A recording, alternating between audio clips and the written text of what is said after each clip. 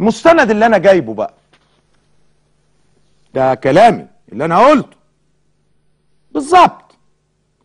سبحان الله سبحان الله سبحان الله.